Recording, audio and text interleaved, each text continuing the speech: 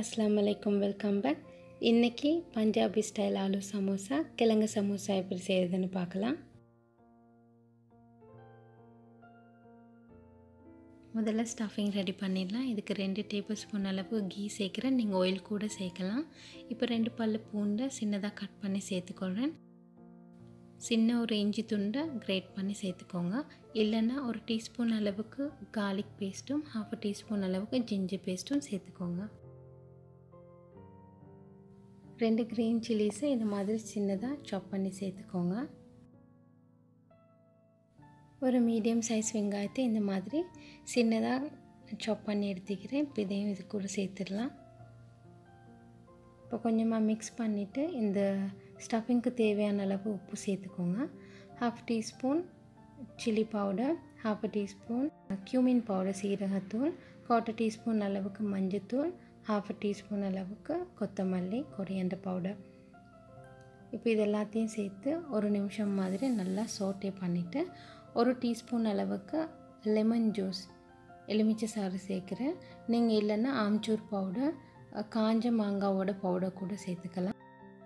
இப்போ ரெண்டு medium size கிழங்கு நல்லா அவிச்சிட்டு இந்த மாதிரி க்ரஷ் பண்ணி அல்லது கட் பண்ணி சேர்த்துக்கோங்க. ரொம்ப மேஷ் பண்ணக்கூடாது அது அவ்வளோ இந்த சமோசாக்கு வந்து செட் ஆகாது. அதனால் இந்த மாதிரி கொஞ்சம் கொஞ்சம் பீஸாக சீக்கிரம் மாதிரி பார்த்துக்கோங்க. குவார்ட்டர் டீஸ்பூன் அளவுக்கு பேப்பர் பவுடர் சேர்த்துட்டு ஒரு கைப்பிடி அளவுக்கு கொத்தமல்லி இலையும் சேர்த்துக்கலாம். இப்போ இது ரெண்டு நிமிஷம் மாதிரி வதக்கிட்டு சுவிட்ச் ஆஃப் பண்ணிவிடுங்க ஸ்டஃபிங் ரெடி ஆகிடுச்சு இப்போ மாவை நாங்கள் ரெடி பண்ணிடலாம். டோ ரெடி பண்ணுறதுக்கு ஒரு கப் மைதாமா பிளெயின் ஃப்ளார் சேர்க்குறேன். இதில் குவார்ட்டர் டீஸ்பூன் அஜ்வைன் ஓமம் இது இருந்துச்சுன்னா சேர்த்துக்கோங்க இல்லைன்னா பரவாயில்ல. இப்போ டோக்கு தேவையான அளவு உப்பு சேர்த்துட்டு ரெண்டரை டேபிள் ஸ்பூன் மெல்டட் கீ சேர்க்குறேன். உங்ககிட்ட கீ இல்லைன்னா நீங்கள் ஆயில் கூட சேர்க்கலாம். பட் கீ சேர்த்திங்கன்னா டேஸ்ட் நல்லாவும் இருக்கும் டோட டெக்ஸ்சரும் ரொம்ப நல்லா வரும்.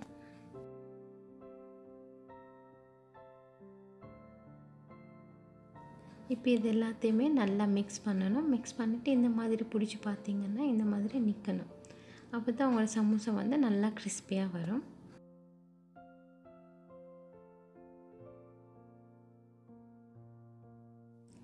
இப்போ இதில் கொஞ்சம் கொஞ்சமாக நல்லா கோல்டு வாட்டர் சேர்த்து ஒரு ஸ்டிஃபான டோவாக நாங்கள் நீட் பண்ணிக்கொள்வோம்.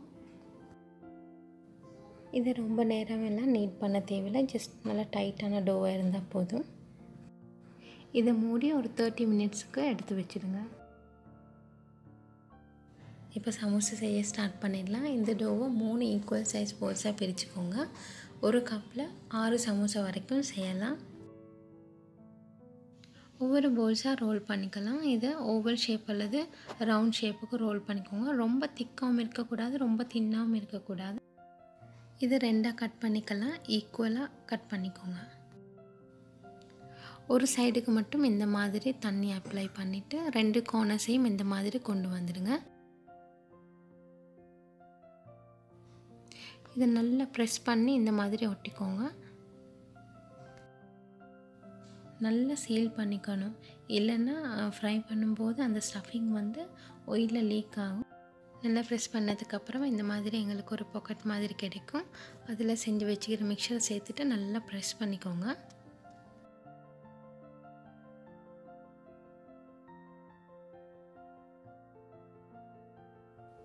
இப்போ எல்லா கார்னர்ஸ்லையும் நல்லா தண்ணி அப்ளை பண்ணிவிட்டு அந்த லென்த் கொஞ்சம் அதிகமாகிக்கிற பக்கத்தில் இந்த மாதிரி ஒரு ஃபோல்ட் பண்ணிவிட்டு ரெண்டையும் ஒன்றுக்கும் சேர்த்து ப்ரெஸ் பண்ணிக்கோங்க.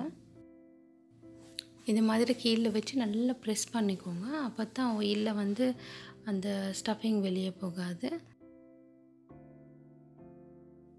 இந்த மாதிரி ஃபோல்ட் பண்ணிங்கன்னா தான் ரெண்டோட லென்த்தும் வந்து ஒரே மாதிரி ஈக்குவலாக இருக்கும். ஒட்டுறதுக்கு வந்து ஈஸியாக இருக்கும் ஈக்குவலாக இருக்கும்.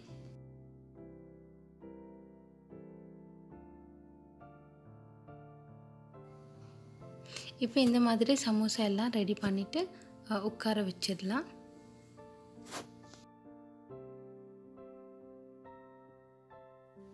இந்த மாதிரி சமோசா எல்லாம் ரெடி பண்ணிட்டு ஒரு ஃபைவ் மினிட்ஸ்க்கு அப்படியே எடுத்து வச்சுடுங்க.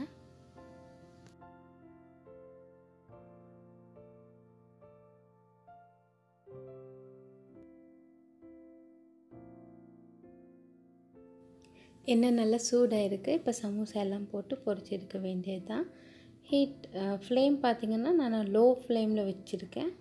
லோ ஹீட்டில் ஃப்ரை பண்ணிங்கன்னா தான் இந்த சமோசா நல்லா கிறிஸ்பியாக வரும். அதனால் லோ ஹீட்டில் ஒரு எட்டுலேருந்து பத்து நிமிஷம் பிடிக்கும். இது ஃப்ரை ஆகிறதுக்கு. கோல்டன் ப்ரௌன் ஆனதுக்கப்புறமா இறக்கிக்கலாம்.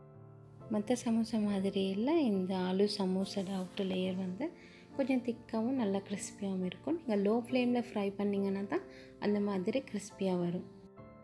சுட சுட ஆலு சமோசா ரெடி ஆகிடுச்சு இந்த ரமதான் சீசனில் இஃப்தாருக்கு ட்ரை பண்ணி பாருங்கள் நான்வெஜ் இல்லைனாலும் கூட பொட்டேட்டோ ஸ்டஃபிங் அவ்வளோ நல்லாயிருக்கும் இந்த மெத்தடில் ட்ரை பண்ணி பாருங்கள் இன்னும் என் சேனலை சப்ஸ்கிரைப் பண்ணலைன்னா சப்ஸ்கிரைப் பண்ணுங்கள் வீடியோ பிடிச்சிருந்துச்சின்னா லைக் பண்ணுங்கள் தேங்க்யூ